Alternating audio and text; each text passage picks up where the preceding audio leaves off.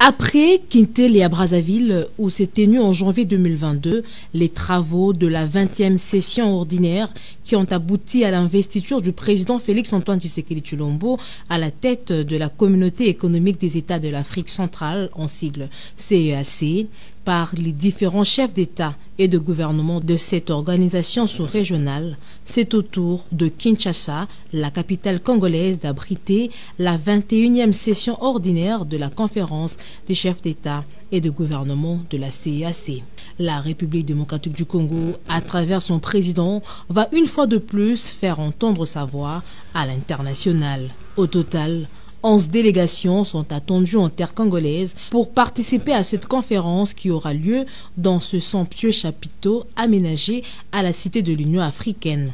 Parmi les premiers participants arrivés à Kinshasa ce dimanche figure le président de la République du Tchad, le général Mohamed Idriss Déby, et le premier ministre du Gabon, Madame Rose Christiane Osuka Raponda.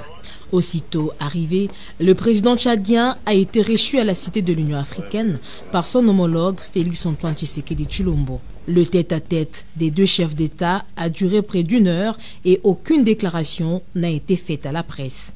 L'objectif central de la 21e session est de s'assurer du fonctionnement régulier des institutions de la communauté à travers le contrôle et le suivi de la mise en œuvre des politiques ainsi que les décisions approuvées par les instances communautaires.